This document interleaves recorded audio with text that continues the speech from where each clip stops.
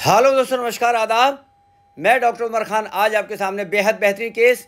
ये देखिए, मैं क्या निकाल रहा हूँ, क्यों निकाल रहा हूँ, ये गाय है और गाय क्यों परेशान थी और ये क्या खा गई थी। ये सारी चीज़ें मैं आपको बताऊँगा। उससे पहले मेरी आपसे रिक्वेस्ट है कि मेरे चैनल को सब्सक्राइब करें, लाइक और शेयर करें। ये एक ऐसी बीमारी है जिसका अगर इलाज ना किया जाए, जिसका अगर ऑपरेशन ना किया जाए तो इसकी मौत निश्चित है। हज़ारों गायों की मौत हो जाती है, पशुओं की मौत हो जाती है, उन पशुओं की मौत हो जाती है, जिन पशुओं की मौत नहीं होनी चाहिए थे, उनको मारने का जो जुम्मा है, जो जो कारण है, जो मारा जाता है, जो पशुओं की डेथ होती है, इतनी बुरी डेथ होती है, बड़ी तकलीफ़ होती है उस उस अवस्था में पशु की डेथ होना। डेथ होने का कारण है प्लास्टिक मटेरियल मेटेलिक या नॉन मेटेलिक मटेरियल जब पशु खा जाता है, निगल जाता है और वो रूमन के अंदर फिक्स हो जाता है और रूमन को चलने नहीं देता। ये देखिए, लगभग डेढ़ कुंटल के आसपास पॉलीथीन बैग इसके अंदर से निकले हैं। निकाल निकाल के परेशान होंगे। चार घंटे में इसके पेट को खाली किया गया है। चूँकि जितनी भी पॉलीथीन बैग होते हैं, ये एक दूसरे से मर्ज हो जाते हैं, एक दूसरे से मिल जाते हैं और ये इस तरीके से निकलते हैं। ऐसे ऐसे कई बंडल इसके पेट से निकाले गए हैं और ये लोगों को यकीन भी नहीं होगा कि डेढ़ कुंटल के आसपास भी इसके अंदर से ये इंजेस्टर निकल सकता है। तो लोगों से मेरा विशेष अनुरोध है कि जो लोग पशुओं को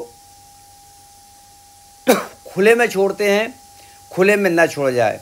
अगर पशु को आप खुले में छोड़ते हैं तो सड़क के किनारे, रोड के किनारे जो पॉलीथीन लोग डाल देते हैं, उसको ये धीरे धीरे खाते चले जाते हैं और ये पेट में बढ़ता चला जाता है।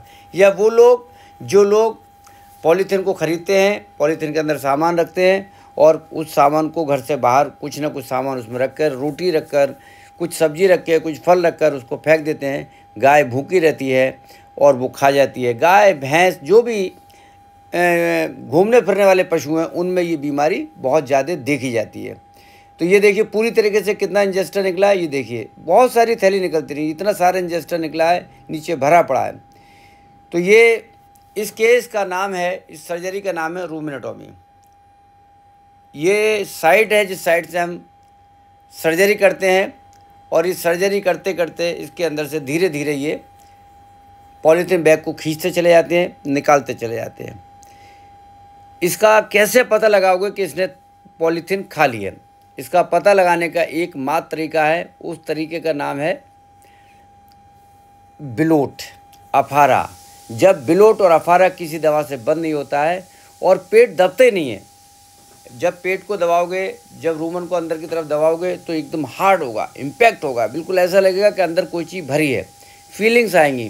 गोबर जो होगा इसका, अधपचा होगा, या ये कह सकते हैं कि कभी पतला करेगी, कभी गाढ़ा करेगी गोबर इसका नॉर्मल नहीं होगा। बिलोट होगी। पशु चारा जब भी खाएगा, इसमें पेट फूल जाएगा।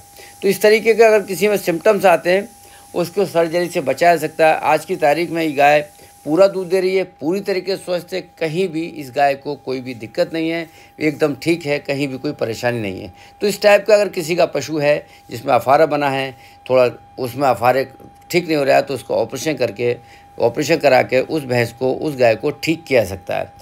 और ये बहुत लोगों से मेरा अनुरोध है कि जो लोग हैं, जो लोग इस पशु को, पशुओं को खुले में छोड़ देते हैं, खुले में छोड़ने के बाद पशु को ये बीमारी होती है खुले में पशु को न छोड़ा जाए। अगर खुले में छोड़ते हो तो पशु की मौत आप लगभग निश्चित कर देते हैं। तो इस तरीके से आज आपने ये वीडियो देखा। इस वीडियो को दिखाने का मकसद ये था कि जो लोग अवेयर हो जाए, लोग पॉलीथीन को सड़क के किनारे न फेंकें, पॉलीथीन को जहाँ भी फेंकें, गड्ढे के अंदर उसको दबा दें। अगर आप ऐसे फेंकते हैं तो आप मतलब भुक्तभोगी होते हैं, आप दोषी होते हैं किसी गाय की मृत्यु के लिए, किसी भैंस की मृत्यु के लिए।